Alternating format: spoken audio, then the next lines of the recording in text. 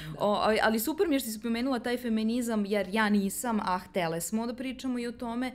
E, zapravo, ja imam utisak da nam nedostaje nova reč za radikalni feminizam. Znaš, da. Ako je patriotizam neko zdravo osjećanje, a nacionalizam je radikalni patriotizam, u tom smislu nam nedostaje reč za radikalni feminizam koji zapravo se pretvara u svoju suprotnost. Da.